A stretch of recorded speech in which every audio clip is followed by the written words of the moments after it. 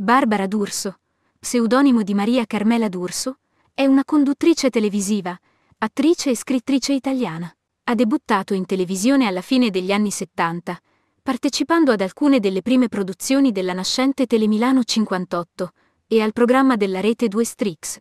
Prima di proseguire volevamo riportarvi uno degli ultimi pettegolezzi che stanno girando in queste ore, riportati nell'articolo de Il Mattino, il cui messaggio è chiaro.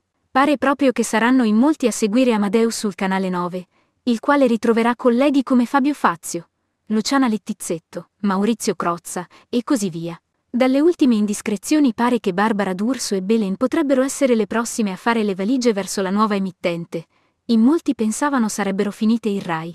Ma ovviamente tutto può cambiare alla velocità di un battito di ciglia. Ovviamente questi sono solo rumors.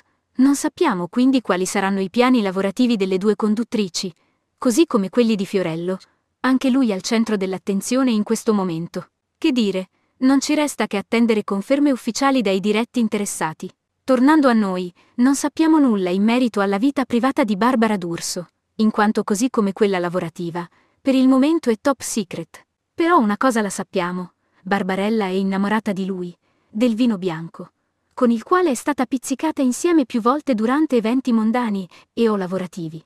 Con la solita grazia che la contraddistingue, Carmelita è chic anche, con un calice in mano. Ovviamente la conduttrice lo consuma con moderazione, ma sicuramente ogni volta che si incontrano non è soltanto una festa, ma è anche una botta di vita pazzesca. Soprattutto nel periodo affoso dell'estate, un prosecchino bello fresco per citare Giovanni in Chiedimi se sono felice. È quello che ci vuole.